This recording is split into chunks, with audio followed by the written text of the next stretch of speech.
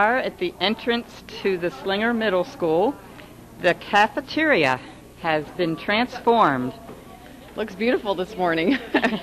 Uh, we do have an, a luncheon here. Uh, there are some quilts in the background just on display to make it pretty. And then this front corner is the country store. Lots of different items, food items, crocheted items, things for your kitchen. Um, all these are things that have been handmade um, by our members of our guild. The money coming in from this will go toward the museum. Uh, so lots of nice things to. Uh, so here at the entrance today. we have a raffle quilt, and this is um, from Mayville. It's for their scholarship, and I'll let you say a little more about it. Well, this is a women's group in Mayville, the Mayville Women's Service League, and we are raffling off tickets for the quilt. And what we do with the money is we fund a $500 scholarship to one of the graduates from the, two, this will be for the 2008 class.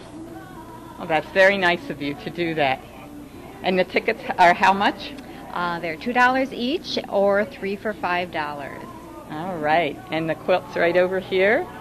So another thing that you can uh, take a chance Auction on. here in the corner of the gymnasium here at the middle school. Cecilia, can you tell me a little bit about what this, this the silent auction is all about?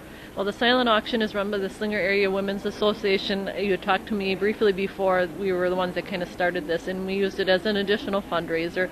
And all of our monies go back into the community. We um, promote the libraries. Um, we've given to Kathy Hospice, Relay for Life, um, a lot of things like that. So most of all the monies go back into the community. Very good. So someone can just come and write their name down and Whoever's the highest bid is at the or has the highest bid at the end of the day is the winner, and they just need to arrange to pick up their item. They don't have to actually be here then to. No, not at the end of the day. Okay. As long as they leave their phone number and stuff, we'll contact them, and we have a pickup arrangement set up. So. Mm-hmm. Very